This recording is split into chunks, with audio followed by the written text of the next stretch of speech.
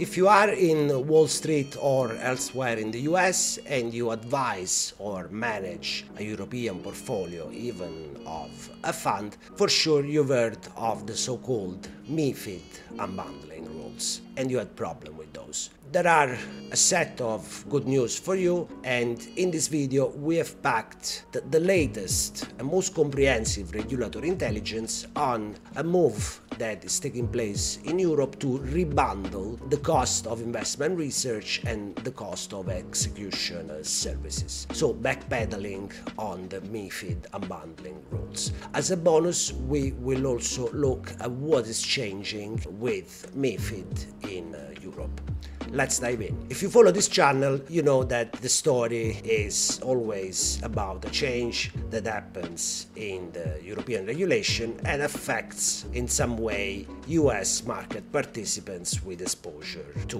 Europe.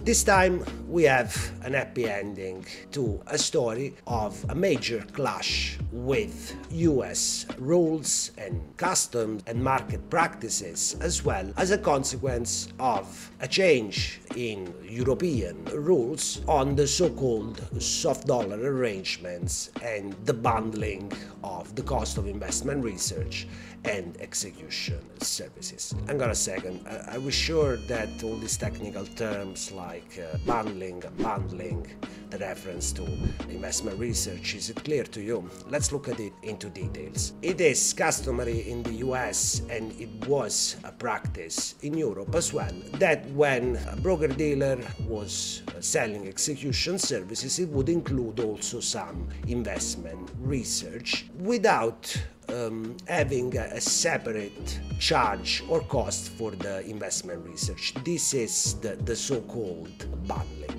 MIFID proposed to unbundle and so divorce not only optically the two fees, the one for the execution services and the one for the investment research, but also for what concerns the payment. Investment research had to be paid separately. And this is the, the unbundling, and now there is a proposal to rebundle the fee for investment research and the one for uh, execution services. Is it clear now? Good.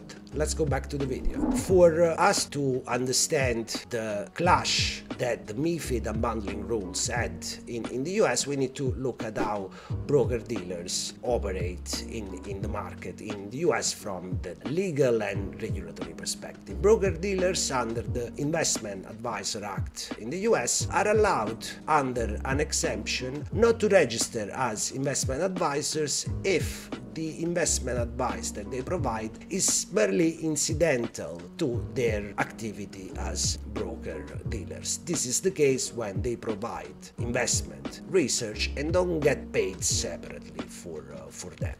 With the advent of the MIFID unbundling rules and the requirement for investment research to be paid separately, broker dealers were facing the issue of providing investment advice not in an incidental manner to their activity and accordingly they struggled to be able to fit with the, with the exemption. The SEC has been very understanding and has issued so-called no-action letters to grandfather broker-dealers that had to comply with MIFID. The effect of these no-action letters has ceased in July 2023. Very likely, the position of Europe is one of backpedaling on the unbundling and of a progressive rebundling of the fee for uh, investment research and execution services. Let's look at why in Europe there was this proposal to unbundle the investment research costs from the execution costs. Europe wasn't really coming from a bad place altogether. From the one end, we have regulatory concerns relative to uh, investor protection as well as avoidance of conflict of interest. There were also commercial drivers related to the, the market of investment research itself. From a regulatory perspective, first of all, and this is something that doesn't exist in, in the US yet, uh, investment firms in Europe under MIFID have to offer and provide to their clients so-called best execution. Whenever they execute a transaction for their client, they have to make sure that it's in the best way possible. And one of the criteria is also the cost. The approach of European authorities was to purport that when an execution service contains also an element of investment research, most likely there are not the conditions to have the, the best execution possible for um, the client through that specific avenue. The other concern from a regulatory perspective is relative to avoid inducements. Investment firms, when they manage portfolio, they cannot retain fees, commission, or any other type of, of benefits received by a third party and relative to the service they offer to their client. Investment research was exempted provided that the cost of investment research was divorced not only optically and so specified separately, but also paid from a different account, be it from the client directly or from the investment firm.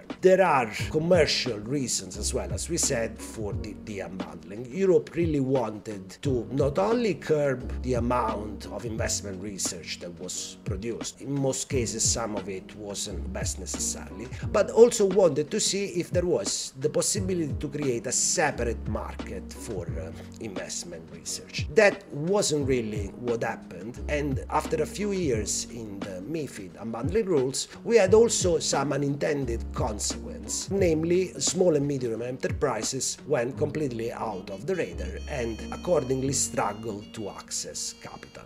A first attempt to rebundle the investment research and execution costs comes with a package of legislative measures issued at the time of uh, COVID in order to reboost the, the economy. As a consequence, here we get an initial rebundling whereby the investment research for issuers that do not exceed 1 billion in the 36 months period prior to the issuance of, of the research, for these issuers it is possible to rebundle the, the, cost of investment research with the cost of the execution services, provided that optically these costs are kept separate but they can be paid together. This first quick fix of MIFID, as it was called, gives us the methodology that will be adopted in a larger proposal to make broader amendments to MIFID with the, the Listing Act. The idea is to rebundle the cost of investment research and execution services for all the firms that don't exceed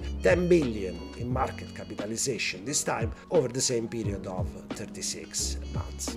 We see clearly that as part of this Listing Act, as it's called, there are also new type of research that are being proposed, the so-called sponsor-issued research. The goal is to curb the, the negative impact unintended of the, the MIFID unbundling, which was for the small and medium enterprises to have gone out of the radar completely and struggle to, to access capital. Ultimately, we see how the need for small medium enterprises to access capital and the need to make European capital markets more vibrant prevailed in this case on the concerns of uh, consumer protection and avoidance of conflict of interest, which nevertheless remain of uh, paramount importance amongst the, main keywords in the infrastructure on the financial markets regulation in, uh, in Europe.